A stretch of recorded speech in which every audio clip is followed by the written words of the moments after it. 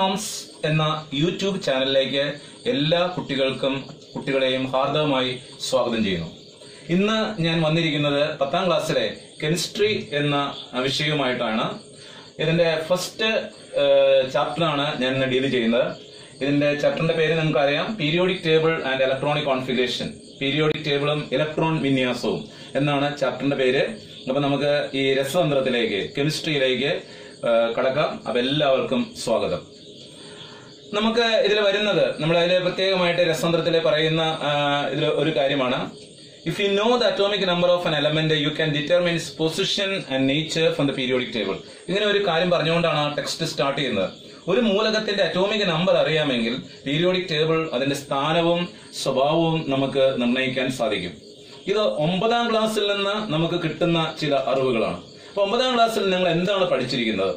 നമുക്ക് അതൊന്ന് ജസ്റ്റ് നോക്കാം. ഒരു എലമെന്റ് ഒരു മൂലകം ഞാൻ എടുക്കുകയാണെങ്കിൽ മൂലകം atomic number atomic number of atomic number of sodium atomic number of sodium പതിനൊന്നാണെന്ന് വിചാരിക്കുക. അറ്റോമിക് നമ്പർ ഓഫ് സോഡിയം പതിനൊന്നാണ്. ഇതിൽ നിന്ന് നമുക്ക് എന്തൊക്കെ കാര്യങ്ങളാണ് നമുക്ക് അതിന്റെ മനസ്സിലാക്കാൻ കഴിയാൻ സാധിക്കുക its position can be determine its nature can be determine എന്ത് അതിന്റെ പൊസിഷൻ എന്താണ്? ആദ്യം നമ്മൾ ഇതിൽ എഴുതേണ്ടത് ഇതിന്റെ electronic configuration electronic configuration shell electronic configuration എത്രയായിരിക്കും?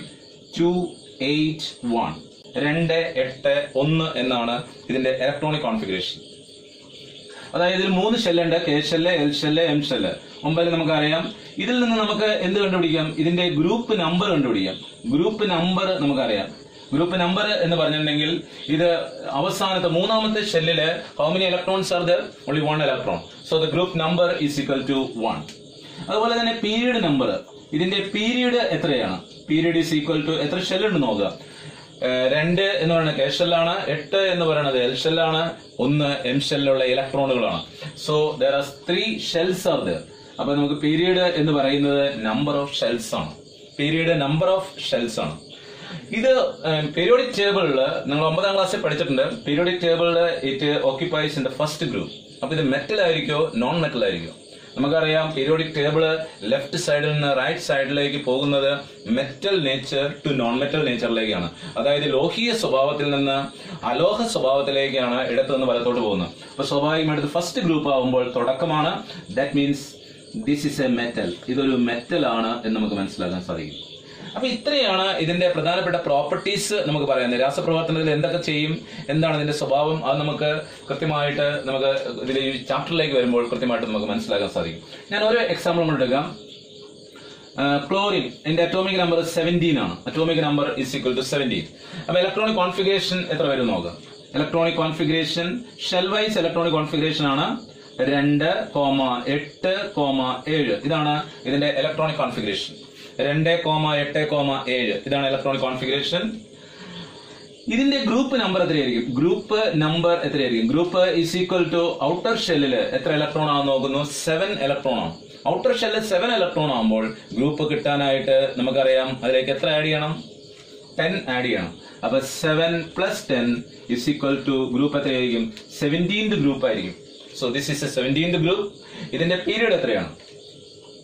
പീരീഡ് ഇതിന്റെ പീരീഡ് എന്ന് പറയുന്നത് നമ്പർ ഓഫ് ഷെൽസ് ഒന്ന് രണ്ട് മൂന്ന് ഷെല്ലുണ്ട് so the period is equal to three നമുക്കറിയാം ഫസ്റ്റ് ഗ്രൂപ്പിൽ നിന്ന് സെവന്റീൻത് ഗ്രൂപ്പിലേക്കാണ് ഈ എലമെന്റ് കാണുന്നത്. സെവന്റീൻത് ഗ്രൂപ്പിലാകുമ്പോൾ നമ്മളെ ആ പീരിയോഡിക് ടേബിളിന്റെ ഏറ്റവും എക്സ്ട്രീം എവിടെയാണ്? റൈറ്റ് സൈഡിലാണ് ഏറ്റവും അറ്റത്തുള്ള വലതുവശത്തായിട്ടാണ് സ്ഥിതി ചെയ്യുന്നത്. അപ്പൊ വലതുവശത്താവുമ്പോൾ അവിടെ അതെന്തായിരിക്കും? It is a non metal ഇതൊരു അലോഹമാണ്. ഇത്രയും കാര്യങ്ങളാണ് ഒമ്പതാം ക്ലാസ്സിലെ ഒരു മൂലകത്തിന്റെ ഒരു എലമെന്റിന്റെ അറ്റോമിക നമ്പർ അറിയാമെങ്കിൽ നമുക്ക് അതിൽ നിന്ന് എന്തൊക്കെ കാര്യങ്ങൾ നമുക്ക് മനസ്സിലാക്കാനായിട്ട് പറ്റും? അതിന്റെ ഇലക്ട്രോണിക് കോൺഫിഗറേഷൻ എഴുതാൻ എഴുതാം ബോർ മോഡൽ വരയ്ക്കാൻ അറിയാം. ഇതിന്റെ ബോർ മോഡൽ എങ്ങനെയാണ് വരയ്ക്കണേ? നമുക്ക് അതും കൂടെ നോക്കാം. ഇതിന്റെ ബോർ മോഡൽ ആദ്യം കെ ഷെല്ല് അതിൽ രണ്ട് ഇലക്ട്രോൺ പിന്നീട് വരുന്നത് ഏതാണ്? രണ്ടാമത്തെ എൽ ഷെല്ല് അതിൽ എത്ര ഇലക്ട്രോൺ ഉണ്ട്? എട്ട് ഇലക്ട്രോൺ പിന്നെ വരുന്നത് എത്രയാണ്? മൂന്നാമത്തെ ഷെൽ എം ഷെല്ല് എത്ര ഇലക്ട്രോൺ ഉണ്ട്? ഒരു ഇലക്ട്രോൺ ഇത് തന്നെയായിരിക്കും ഇവിടെ വരിക. അപ്പോൾ ഇതിന്റെ ബോർ മോഡൽ വരയ്ക്കാറിയ ഗ്രൂപ്പ് നമ്പർ കാണാറിയ പീരീഡ് കാണാറിയ മെറ്റൽ ആണോ നോൺ മെറ്റൽ ആണോ എന്ന കാര്യങ്ങൾ നമുക്ക് മനസ്സിലാക്കാനായിട്ട് നമുക്ക് കഴിയുമായിരുന്നു. ഇത് നമ്മൾ ഒമ്പതിൽ കൃത്യമായ വിവരം കിട്ടിയതാണ്. ഇതുപോലെ തന്നെ നമുക്ക് ഇതും വരയ്ക്കാം. കെ ഷെല്ലിൽ രണ്ട് എം ഷെല്ലിൽ എട്ട് കെ ഷെല്ലിൽ എൽ ഷെല്ലിൽ എട്ട് എം ഷെല്ലിൽ ഏഴ് ഇലക്ട്രോൺ ആയിരിക്കും. ഇതാണ് നമുക്ക് കഴിഞ്ഞ തവണ നമ്മൾ മനസ്സിലാക്കിയ കാര്യങ്ങൾ ഇതാണ്. പിന്നെ നമുക്കറിയാം പീരിയോഡിക് ടേബിൾ പീരിയോഡിക് ടേബിളിന്റെ എലമെന്റ്സ് അറേഞ്ച് ചെയ്തിരിക്കുന്നത് എന്തിന്റെ അടിസ്ഥാനത്തിലാണ്? പീരിയോഡിക് ലോ പഠിച്ചിട്ടുണ്ട്. അല്ലെങ്കിൽ പീരിയോഡിക് നിയമം പഠിച്ചിട്ടുണ്ട്. The elements are arranged in the periodic table according to their periodic number അതായത് അറ്റോമിക സംഖ്യയെ അടിസ്ഥാനമാക്കിയാണ് പീരിയോഡിക് ടേബിളിലെ മൂലകങ്ങളെ ക്രമീകരിച്ചിരിക്കുന്നത്. ഈ മൂലകങ്ങളുടെ അറ്റോമിക സംഖ്യ അടിസ്ഥാനമാക്കി മൂലകങ്ങളെ ക്രമീകരിക്കുമ്പോൾ അതിന്റെ അറ്റോമിക സ്ട്രക്ചറിനെ അടിസ്ഥാനമാക്കിയാണ് പീരിയോഡിക് ടേബിളിലെ എലമെന്റ്സിനെ arrange so the elements are the periodic functions of their atomic number and they are arranged in the periodic table based on the atomic number or the atomic structure of the element.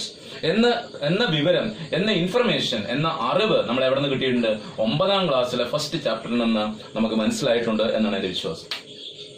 Okay നമ്മൾ ഇതിന്റെ മറ്റൊരു കാര്യത്തിലേക്ക് ഈ shell നമുക്കറിയാം ഒമ്പതാം ക്ലാസ്സിൽ ഒമ്പതാം ക്ലാസ്സിൽ നമ്മൾ പഠിച്ച കുറച്ച് കാര്യങ്ങളോടുണ്ട്. ഒമ്പതാം ക്ലാസ്സിൽ ആറ്റത്തിന്റെ മൂന്ന് മോഡലുകൾ നമ്മൾ പരിചയപ്പെട്ടിട്ടുണ്ട്.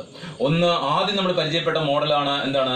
ജെ ജെ തോംസന്റെ പ്ലം പുഡിംഗ് മോഡൽ അതുപോലെ തന്നെ റൂദർ ഫോർഡിന്റെ nuclear model nuclear atom model. ഏറ്റവും ലാസ്റ്റ് നമ്മൾ പരിചയപ്പെട്ടത് എന്തായിരുന്നു? ബോർ ആറ്റം മോഡലായിരുന്നു. അപ്പൊ തോംസൺ ആറ്റം മോഡലാണ് ഒന്നാമത് നമ്മൾ പരിചയപ്പെട്ടത്. തോംസൺ ആറ്റം മോഡൽ അതുപോലെ തന്നെ Rutherford atom model Rutherford atom model Rutherford ഇത് പ്ലം പുഡിംഗ് മോഡലായിരുന്നു പ്ലം പുഡിംഗ് മോഡലായിരുന്നു ആരുടെ മോഡൽ ജെജെ തോംസന്റെ മോഡൽ പ്ലം പുഡിംഗ് മോഡലായിരുന്നു റൂദർഫോർഡിന്റെ മോഡൽ സോളാർ മോഡലായിരുന്നു സോളാർ സിസ്റ്റം വൈസ് ആയിരുന്നു. അതുപോലെ തന്നെ ബോർ മോഡൽ ബോർ മോഡൽ നമ്മ ബോർ മോഡലിന്റെ ഒരു ചിത്രം നമുക്ക് പരിചയപ്പെട്ട് ഞാൻ നേരത്തെ വരച്ചായിരുന്നു. അതായത് ന്യൂക്ലിയസിന് ചുറ്റും ഇലക്ട്രോണുകൾ സഞ്ചരിക്കുന്ന പാതയാണ് കാണിച്ചിരിക്കുന്നത്. അതാണ് നമ്മൾ ഷെല്ല് അത് ഓർബിറ്റ് എന്നുണ്ട് അപ്പൊ ബോർ മോഡലിലെ ഒരു ചിത്രത്തിലേക്ക് നമ്മൾ പോവുകയാണെങ്കിൽ ഇത് നമ്മൾ ന്യൂക്ലിയസ് ആണ്. ന്യൂക്ലിയസിലാണ് എന്തൊക്കെ സ്ഥിതി ചെയ്യുന്നത്? ന്യൂക്ലിയസിലെ പ്രോട്ടോണും ന്യൂട്രോണും എക്സിസ്റ്റ് ചെയ്യുന്നു. എന്ത് ചാർജ് ആണുള്ളത് പോസിറ്റീവ് ചാർജ് ആണ്.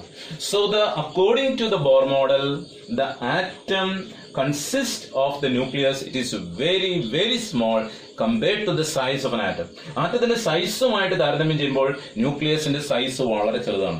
ഒരു വലിയൊരു മൈതാനം നമ്മൾ ഒരു ഫുട്ബോൾ ഗ്രൗണ്ട് നമ്മൾ എടുത്തിട്ടുണ്ടെങ്കിൽ അതിന്റെ നടുവിലിരിക്കുന്ന ഒരു ഈച്ചയുടെ വലിപ്പമാണ് ന്യൂക്ലിയസ് മൈതാനം we can considered as the ground can be considered as the size of an atom but the insect can be considered as the size of a nucleus so ന്യൂക്ലിയസിന്റെ size ആറ്റത്തിന്റെ സൈസുമായിട്ട് കമ്പയർ ചെയ്യുമ്പോൾ very very very very very small it is not possible to see atom തന്നെ നമുക്ക് എന്ത് ചെയ്യാൻ പറ്റില്ല? കാണാൻ പറ്റില്ല.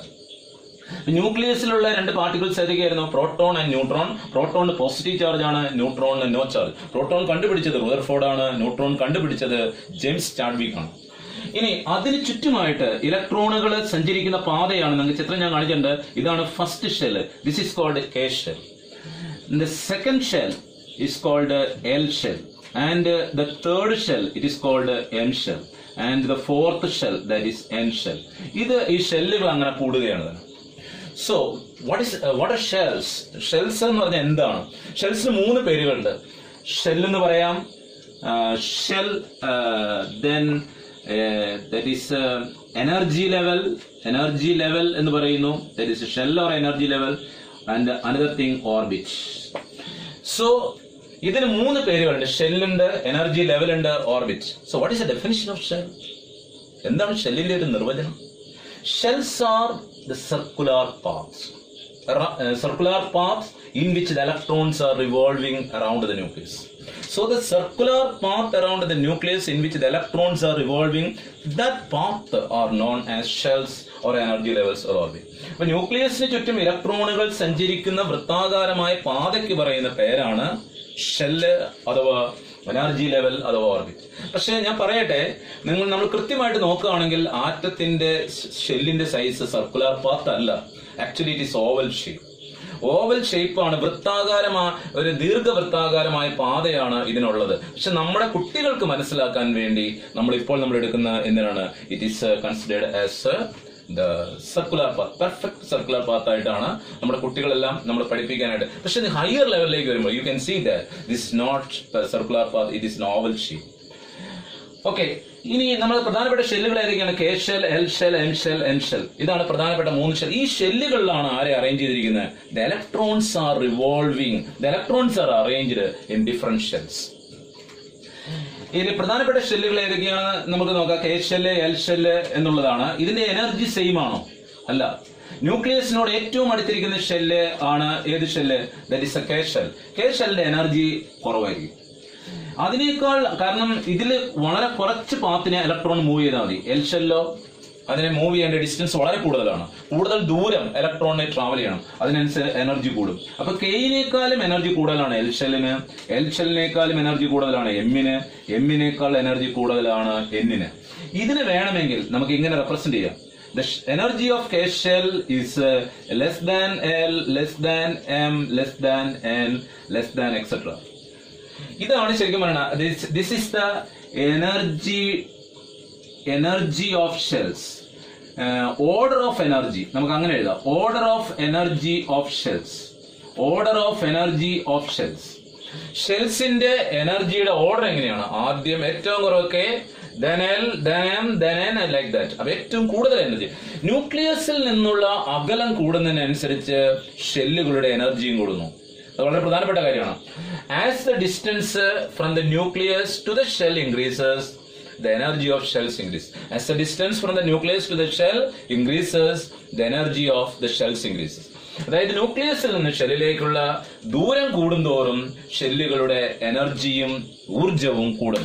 അതായത് ന്യൂക്ലിയസിനോട് ഏറ്റവും അടുത്ത ഷെല്ലിന് എനർജി കുറവായിരിക്കും. ന്യൂക്ലിയസിനോട് ഏറ്റവും അടുത്ത ഷെല്ല് ഏതാണ്? കെ ഷെല്ലാണ് ഏറ്റവും അകലെയുള്ള ഷെല്ലാണ് നമ്മുടെ ചിത്രത്തിൽ ഏതാണ്? എൻ ഷെല്ലാണ് അതിന് ഊർജം കൂടുതലായിരിക്കും. ഇനി ഒരു കാര്യം കൂടെ ഉണ്ട്. ഷെൽ നമ്പർ ഇത് നിങ്ങൾ പഠിച്ചിട്ടുണ്ട്. എന്താണ് shell number shell number denote ചെയ്യുന്നത് സ്മോൾ എൻ കൊണ്ടാണ്. Shell number is denoted by small N shell number കെയുടെ ഷെൽ നമ്പർ എത്രയാണ്? വൺ ആണ്. ഒന്നാമത്തെ ഷെല്ല് എല്ലിന്റെ ഷെൽ നമ്പർ ടു ആണ്. എമ്മിന്റെ ഷെൽ നമ്പർ ത്രീ ആണ്. എന്നിന്റെ ഷെൽ നമ്പർ ഫോർ ആണ്. So each shell is assign a shell number. A shell number is denoted by the letter small n. For K, the shell number is 1, that is the first shell. L, the shell number is 2, that means the second shell. And the third shell, M shell is 3. Fourth shell, N, so the shell number is 4. അപ്പോൾ M എന്ന് പറഞ്ഞാൽ എത്രാമത്തെ ഷെല്ലാണ് third shell അപ്പൊ കുട്ടികൾ doubt ചോദിച്ചേക്കാം എന്താണ് സാറേ? ഇത് ഏ തൊട്ടല്ലേ സാധാരണ നമ്മൾ സ്റ്റാർട്ട് ചെയ്യണേ? എ ബി സി ഡി അങ്ങനെയല്ലേ സ്റ്റാർട്ട് ചെയ്യണേ? ഇതെന്താണ്? കെയിൽ നിന്ന് ഈ ഷെൽ നമ്പർ സ്റ്റാർട്ട് ചെയ്തതാണ് ഇതാണ് അതിന്റെ പ്രശ്നം. അതിൽ റെജിസ്റ്റം പറയുന്നത് സയന്റിസ്റ്റുകൾ പറയുന്നത് ഇനിയും ഇതിന്റെ ഉള്ളിൽ ഇതിന് മുന്നേ ഉള്ള ഷെല്ലുകൾ ഉണ്ടെങ്കിൽ നമ്മൾ ഏതൊട്ട് സ്റ്റാർട്ട് ചെയ്തിട്ടുണ്ടെങ്കിൽ അതിന് പേര് കൊടുക്കാൻ പറ്റില്ല. So we have no rigid knowledge അല്ലെങ്കിൽ clear cut knowledge this is the first shell K ആണ് ഫസ്റ്റ് ഷെൽ നിന്ന് സയന്റിസ്റ്റിന് ആ കാലഘട്ടത്തിൽ ഒരു ധാരണ ഉണ്ടായിരുന്നില്ല. ഇനിയും ഇതിന്റെ ഉള്ളിൽ മറ്റു ഷെല്ലുകൾ ഉണ്ടെങ്കിൽ കണ്ടുപിടിച്ചു കഴിഞ്ഞിട്ടുണ്ടെങ്കിൽ അതിനുശേഷമുള്ള പേരുകൾ കൊടുക്കുന്നതിന് വേണ്ടിയാണ് ഏകദേശം നടുക്ക് തൊട്ട് ആൽഫബെറ്റ്സിന്റെ ഏറ്റവും നടുക്ക് തൊട്ട് ഷെല്ലുകളുടെ പേര് കൊടുത്തുള്ളത്. അല്ലെങ്കിൽ ഇനി ഉള്ളിൽ മറ്റ് ഷെല്ലുകൾ ഇല്ല എന്ന് കൃത്യമായ ഉറപ്പുണ്ടായിരുന്നെങ്കിൽ അവരെവിടെ നിന്ന് സ്റ്റാർട്ട് ചെയ്യുള്ളൂ? ഏതൊട്ട് തൊട്ട് സ്റ്റാർട്ട് ചെയ്തതിന്.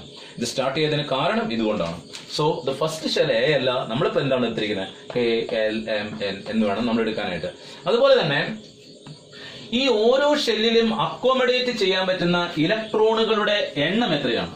Max what is a maximum number of electrons which can be accommodated in each shell ഓരോ ഷെല്ലിന് അക്കോമഡേറ്റ് ചെയ്യാൻ പറ്റുന്ന ഇലക്ട്രോണുകളുടെ എണ്ണം ഞാനിവിടെ എഴുതുകയാണ്. ദാറ്റ് ഈസ് ഷെൽ എഴുതുന്നു. ഷെൽ നമ്പർ എഴുതുന്നു. അതുപോലെ തന്നെ മാക്സിമം ഇലക്ട്രോൺ ഇലക്ട്രോൺസ് ഇ എന്ന് പറഞ്ഞ ഇലക്ട്രോൺസ് മാക്സിമം ഇലക്ട്രോൺസ് നമുക്ക് നോക്കാം shell K shell shell number എത്രയാണ്? വൺ ആണ്. എൽ ഷെൽ നമ്പർ ടു ആണ്. എം ഷെൽ നമ്പർ ത്രീ ആണ്. എൻ ഷെൽ നമ്പർ ഫോർ ആണ്. ഇനി ഓരോ ഷെല്ലിലും പരമാവധി അക്കോമഡേറ്റ് ചെയ്യാൻ പറ്റുന്ന ഇലക്ട്രോണുകളുടെ എണ്ണം കണ്ടുപിടിക്കാനുള്ള ഒരു ഫോർമുല നമുക്കുണ്ട് ഒരു ഇക്വേഷൻ നമുക്കുണ്ട്. That is N square into two N square into two two N square എന്നാണ് പറയുന്നത് പക്ഷെ എനിക്ക് തോന്നുന്നു ഇങ്ങനെ എഴുതിയിരിക്കും നല്ലത്. What is N N square N is shell number into two അതിന് ടു കൊണ്ട് വിളിക്കുക അപ്പൊ കെയിൽ എത്ര ഇലക്ട്രോൺ ഉണ്ട്? കെയിന്റെ ഷെൽ നമ്പർ എത്രയാണ്? വൺ അപ്പൊ വൺ സ്ക്വയർ അതിന് ഷെൽ നമ്പറിന്റെ സ്ക്വയർ എടുക്കുക. One square into two one square is equal to one square എത്രയാണ്? One one into two that is two അപ്പൊ കെ ഷെൽ എത്ര ഇലക്ട്രോൺ ഉണ്ട്? ടു അടുത്ത എൽ നമ്പർ എത്രയാണ്? ടു ഷെൽ നമ്പർ ടു അപ്പൊ two square two square into two two കൊണ്ട് multiply two square എത്രയാണ്? Four four into two four into two അപ്പൊ എത്ര കിട്ടും? എയ്റ്റ് അടുത്ത എം ത്രീ ആണ്. ത്രീ സ്ക്വയർ ഇലക്ട്രോണുകളുടെ എണ്ണം കണ്ടുപിടിക്കാൻ. Three square into two three square എത്രയാണ്? Nine nine into two that is equal to eighteen എന്നിന്റെ ഷെൽ നമ്പർ എത്രയാണ്? ഫോർ ഫോർ സ്ക്വയർ അതിന്റെ സ്ക്വയർ എടുക്കുക. Four square into two that is equal to sixteen into two that is equal to എത്ര കിട്ടും? Thirty two ഇനി ഞാൻ ഇത്രയാണ് സാധാരണ ഉള്ളത്. ഞാൻ ഓയും കൂടെ എടുക്കുന്നതായിരിക്കും.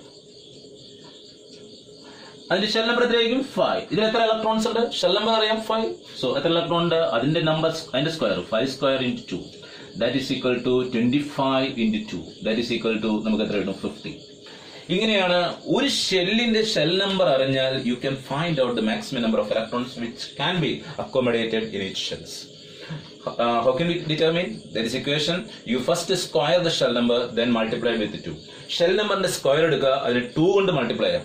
ഇപ്പൊ N shell shell shell number എത്രയാണ്? Three how many electrons can be accommodated അതിന്റെ നമ്പർ ത്രീ ആണ്. അപ്പൊ three square into two nine into two eighteen ഇപ്പൊ എൽ ഷെൽ നമ്പർ ടു എത്ര ഇലക്ട്രോൺസ് അക്കോമഡേറ്റ് ചെയ്യാം? Two square into two that is four into two eighteen eight electrons accommodate ചെയ്യാം.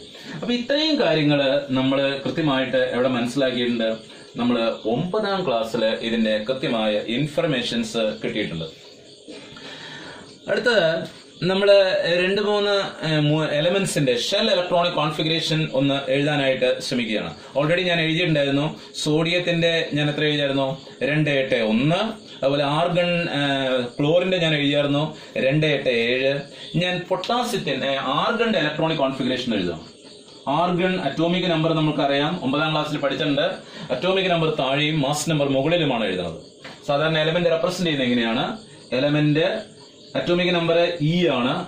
Atomic number E ആണ് mass number A ആണ്. അപ്പൊ Z എന്ന് പറയുന്നത് that is atomic number and A is equal to mass number mass number ആണ്. Mass number എന്ന് പറഞ്ഞിട്ടുണ്ടെങ്കിൽ number of protons plus neutrons അതിനെയാണ് മാസ് നമ്പർ എന്ന് പറയുന്നത്. Atomic number number of protons or number of electrons അപ്പൊ ആർഗന്റെ atomic number എത്രയാണ്? Eighty so electronic configuration shellwise electronic configuration രണ്ട് എട്ട് എട്ടാണ് ഇനി അടുത്ത ഞാൻ പൊട്ടാസ്യം എടുക്കണം ചോദിക്കുക പൊട്ടാസ്യം അറ്റോമിക് നമ്പർ എത്രയാണ്? നയന്റീൻ പത്തൊമ്പതാണ് ഇലക്ട്രോണിക് കോൺഫിഗറേഷൻ എങ്ങനെ എഴുതണ്ടേ?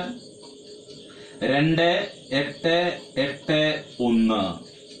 ടു എയ്റ്റ് എയ്റ്റ് വൺ ഇതാണ് പൊട്ടാസ്യത്തിന്റെ ഇലക്ട്രോണിക് കോൺഫിഗറേഷൻ നിങ്ങൾ എഴുതി പഠിച്ച എങ്ങനെയാണ് പക്ഷെ ഇവിടെ ഒരു ക്വസ്റ്റ്യൻ ഉണ്ട്. നമുക്കറിയാം കേശൽ മാക്സിമം ഇത് കേഷലാണ് കേശൽ മാക്സിമം എത്ര ഇലക്ട്രോൺ ആണ്? There is two electrons L shell maximum eight electrons M shell maximum എത്ര ഇലക്ട്രോണിനെ അക്കോമഡേറ്റ് ചെയ്യാം? എം ഷെല്ലിൽ അക്കോമഡേറ്റ് ചെയ്യാൻ പറ്റുന്ന ഇലക്ട്രോണുകളുടെ എണ്ണം എത്രയാണ്? Eighteen you see you see in this that is the configuration of potassium is two eight eight ഇവിടെ എട്ട് ഇലക്ട്രോൺ കഴിഞ്ഞിട്ട് electron goes to the next shell ഇത് ഏത് ഷെല്ലാണ് എൻ ഷെല്ലിലേക്കാണ് പോകുന്നത്. Actually how many electrons can be accommodated in M എമ്മിൽ എത്ര ഇലക്ട്രോൺസ് നമുക്ക് അക്കോമഡേറ്റ് ചെയ്യാൻ പറ്റും? എയ്റ്റീൻ ഇലക്ട്രോൺസ് പക്ഷെ ഇവിടെ എത്ര അക്കോമഡേറ്റ് ചെയ്തിട്ടുള്ളൂ? എത്ര ഫില്ല് ചെയ്തിട്ടുള്ളൂ? ഓൺലി എയ്റ്റ് ഇലക്ട്രോൺസ് ഈ എം പതിനെട്ടായതിനു ശേഷം മാത്രമല്ലേ എന്നിലേക്ക് ഇലക്ട്രോൺ പോകേണ്ടത്? അല്ലാതെ ഇവിടെ എട്ട് ഇലക്ട്രോൺ വെച്ചിട്ട് അടുത്തത് ഏതിലേക്ക് പോയി? ഒന്നിലേക്ക് പോകും നാലാമത്തെ ഷെല്ലായ എന്നിലേക്ക് പോയി. വായി അപ്പൊ ഈ ഒരു ചോദ്യത്തിന് ഈ ഒരു ക്വസ്റ്റിന് ബോർ ആറ്റം മോഡലിന് കൃത്യമായ ഒരു ഉത്തരം പറയാൻ പറ്റിയില്ല. Bohr atom model does not give the proper explanation to this question why does the um, 19th electron goes to the n shell? Even though m can accommodate 18 18 electrons accommodate ചെയ്യാൻ എമ്മിന് കഴിയും എന്നിരിക്കെ എന്താണ് ഈ നാല് ഈ പത്തൊമ്പതാമത്തെ ഇലക്ട്രോൺ എന്നിലേക്ക് പോയത് എന്ന ചോദ്യത്തിന് കൃത്യമായ ഒരു ഉത്തരം ആർക്ക് തരാൻ പറ്റില്ല ബോറിന് തരാൻ പറ്റില്ല that means Bohr has some limitation ബോറിന് എന്തുണ്ട്? ചില ലിമിറ്റേഷൻ ഉണ്ട്. എന്താ? ഈ ലിമിറ്റേഷൻ ഈ ലിമിറ്റേഷൻ ഓവർകം ചെയ്യാൻ വേണ്ടി സയൻസ് എന്ത് ചെയ്തു? Certain assumptions were postulated. ചില തിരുത്തലുകൾ ചില ഭേദഗതികൾ അദ്ദേഹത്തിന്റെ നിയമത്തിൽ വരുത്തുകയുണ്ടായി. Certain assumptions were the postulates were ചില തിരുത്തലുകൾ അതിൽ വരുത്തേണ്ടതായിട്ട് വന്നു. എന്താണ് ആ കാര്യം എന്നുള്ളതാണ്. അത് പറയുന്നത് ഞാൻ മനസ്സിലായല്ലോ ബോറിന്റെ ആറ്റം മോഡിൽ ലിമിറ്റേഷൻ ഉണ്ട്. എന്താണ് ലിമിറ്റേഷൻ എന്നുള്ള കാര്യം നമ്മൾ പറഞ്ഞു. അത് തിരുത്തുന്നതിന് വേണ്ടി ചില പോസ്റ്റുലേറ്റ്സ് ചില കാഴ്ചപ്പാടുകൾ ചില തിരുത്തലുകൾ അതിൽ വരുത്തേണ്ടി വന്നു. അത് പറയുന്നത് എങ്ങനെയാണ്? The electrons in shells are distributed in different sub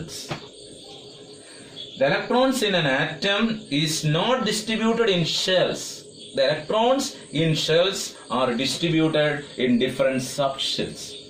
അതായത് ആറ്റത്തിന്റെ ഷെല്ലിലുള്ള ഇലക്ട്രോണുകളെ വിവിധ സബ്ഷെല്ലുകളിൽ ക്രമീകരിച്ചിരിക്കുന്നു. വിവിധ ഊർജ നിലകളിൽ ക്രമീകരി വിവിധ ഉപ ഊർജ നിലകളിൽ ക്രമീകരിച്ചിരിക്കുന്നു. എന്ന രീതിയിലാണ് അതിന്റെ വിശദീകരണം so the post according to the new postulates of the Bohr atom model Bohr atom model പറ്റിയ പുതിയ കാഴ്ചപ്പാട് അനുസരിച്ച് the electrons are not distributed in shells the electrons in shells are distributed in different subshells ഇപ്പൊ ഷെല്ലിലുള്ള ഇലക്ട്രോണുകളെ അതേ ഷെല്ലിലെ വിവിധ ഉപഷെല്ലുകളിലായിട്ട് ആണ് ക്രമീകരിച്ചിരിക്കുന്നത്. എന്ന് പറഞ്ഞാൽ ഷെല്ലുകളെ ഉപഷെല്ലുകളായിട്ട് ഡിവൈഡ് ചെയ്തിരിക്കുന്നു. ക്ലിയർ ആയി വിശ്വസിക്കുന്നു. According to this, the shells are divided into uh, uh, divided into എന്താണ്? സബ് ഷെൽസ് അപ്പൊ ഷെൽസിനെ സബ്ഷെല്ലുകളായി ഡിവൈഡ് ചെയ്തിരിക്കുന്നു. ഈ സബ് ഷെല്ലുകളിലാണ് ഇലക്ട്രോണുകളെ ക്രമീകരിച്ചിരിക്കുന്നത്. അപ്പൊ എന്ത് പറയാം? സബ് ഷെൽ എന്ന് പറയാം ഉപ ഊർജ നിലകൾ എന്ന് പറയാം. അപ്പൊ ഏതൊക്കെയാണ് പ്രധാനപ്പെട്ട സബ് ഷെല്ലുകൾ നാല് പ്രധാനപ്പെട്ട സബ് ഷെല്ലുകളാണ് നമുക്കുള്ളത് S P D F S P A D A F നാല് സബ്ഷെല്ലുകളാണ് totally we have four subshells S P D F ഈ പേരുകൾ ഈ ലെറ്റേഴ്സ് എവിടെ നിന്നാണ് എടുത്തത്? ഒരാറ്റത്തിന്റെ അറ്റോമിക് സ്ട്രക്ചർ എക്സ്പ്ലെയിൻ ചെയ്യാൻ ഉപയോഗിക്കുന്നതാണ്. മാതൃകയാണ് എസ് ഫോർ ഷാർപ്പ് എസ് എന്ന് പറഞ്ഞാൽ ഷാർപ്പ് എന്നാണ്.